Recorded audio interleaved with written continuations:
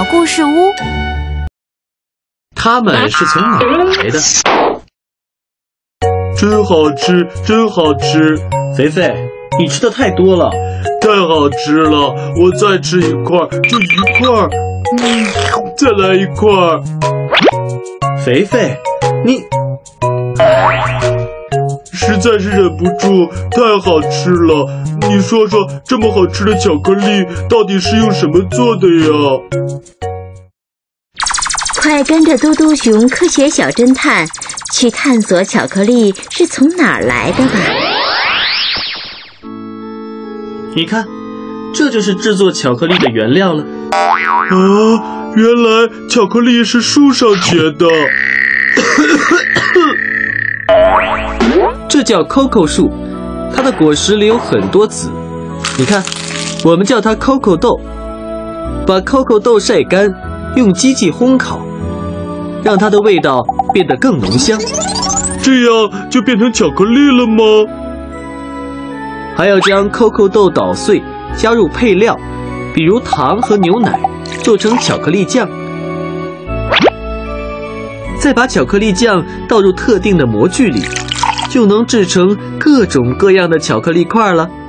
你看，好吃的巧克力原来是这样做成的。我知道了，小朋友，你们知道了吗？洗澡了，洗澡了！哈哈哈哈！肥肥，水是很珍贵的资源，不能浪费。打开水龙头，水不就出来了吗？好多好多，你看，水是来之不易的，请你跟我来看一看。小朋友，让嘟嘟熊科学小侦探告诉你，水是从哪儿来的吧。嘟嘟熊，这是做什么用的？这是从河里抽取水的管道，用这根管子从河里、湖里，还有一些大的地下水源地抽取水，输送到水处理中心，先把它们放在一个大水池里沉淀好几天，让脏东西沉底，再用过滤网过滤，干净水被送进水塔里，由水管流到各家各户的水龙头里。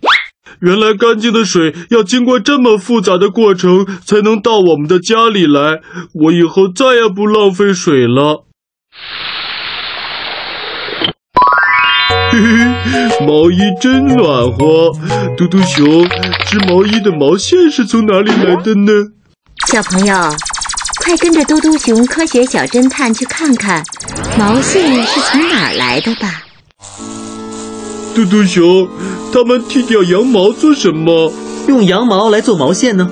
你看，把清洗干净的羊毛整理好，用这个机器就能纺出毛线了。哈哈，好长好长的线呀！不过为什么都是白色？毛线本来都是白色的，用染料可以染出各种各样的颜色。原来漂亮的毛衣是这样来的，我知道了。小朋友们，你们知道了吗？纸也是宝贵资源，不能随便浪费。又是宝贵资源啊！快带我去看看吧。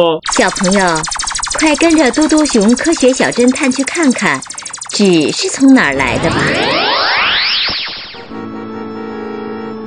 嘟嘟熊，咱们来错地方了吧？这里是木材厂啊。呵呵。这里是造纸厂，你看这个，一棵大树变成了，加水搅拌就做出纸浆了。你看，把纸浆浇在这个满是小孔的板子上，滴下来的纸浆就会慢慢变成一张纸。压平晒干，然后卷起来，看，大树就变成纸了。原来是这样啊！造纸需要砍树，用越多的纸砍越多的树。以后一定要节约用纸。嘟嘟熊，我知道这些水果和蔬菜是从哪儿来的。哦，你说说看。这是葡萄，长在藤蔓上；这是胡萝卜，长在树上；这是草莓，也长在树上。但是我喜欢吃的土豆长在地里。啊，哈哈哈肥肥，你的正确率是一半一半。小朋友，快跟着嘟嘟熊科学小侦探到农场里去看一看。你看，胡萝卜长在土地里，草莓也不是长在树上。哦，原来是这样！以后我要向你学，做个科学小侦探。